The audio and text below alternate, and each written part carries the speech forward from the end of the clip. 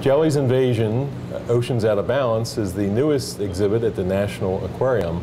This exhibit is going to tell an environmental story about actually rising populations of jellyfish. And we'll take you around the world to see a good diversity. Many of our local jellies that we find here in the Chesapeake Bay and off of Ocean City are going to be on display as well as animals from Australia, from the Indo-Pacific, the West Coast, the Pacific Ocean, the cold Pacific Ocean, nine different exhibits showing species from all over the world. Jellyfish populations are actually on the rise around the world.